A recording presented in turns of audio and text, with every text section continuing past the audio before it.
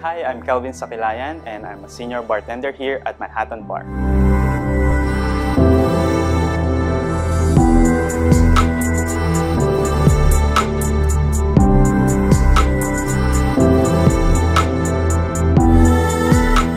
Our bar is located here at Cuscaden Road inside the Regent Singapore.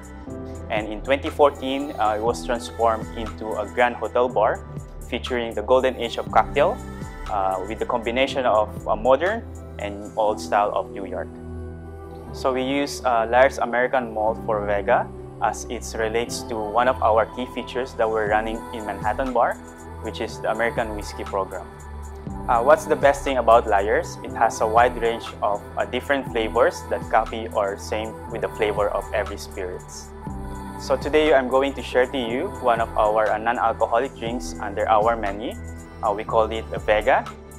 For Vega, we will start pouring the clarified apple juice, followed by the Lapsang Souchong tea that will deliver a funky smoke flavor. A splash of orange chamomile oleosaccharum for a citrus and floral notes, Lastly, our Lyre's American Malt for a vanilla and nutty finish.